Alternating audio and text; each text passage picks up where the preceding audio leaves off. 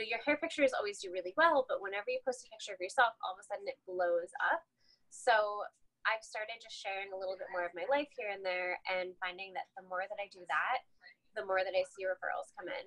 Um, so I've been, you know, getting used to taking selfies. And then I also partnered with a good friend of mine who's a photographer. So we do a trade where I work on her hair and she does some wow. a few photo shoots for me every couple of months.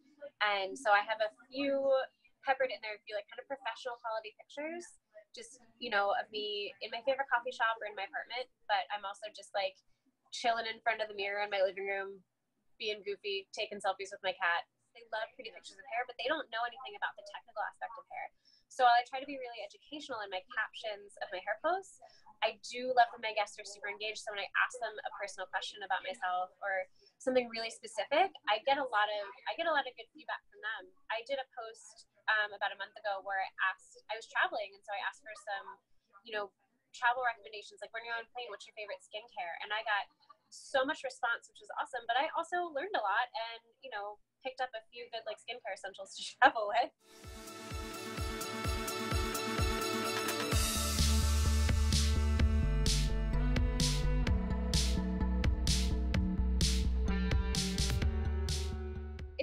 The truth is like I'm naturally kind of private and I don't I've never been an overshare online. So it's definitely I try to be really mindful of like what I'm sharing and how I'm sharing it. A few of those pictures are from my honeymoon, um, which you know, I was trying to be really focused in that moment. So I did I knew I wanted to post a couple things, stay active, but I also knew I didn't want to be on Instagram 24 7 on my honeymoon. So yeah you know, I do try to like plan it out and I do try to be really conscious of you know what i'm sharing and that it's personal but not not crossing the line of what i'm comfortable with but still feels like real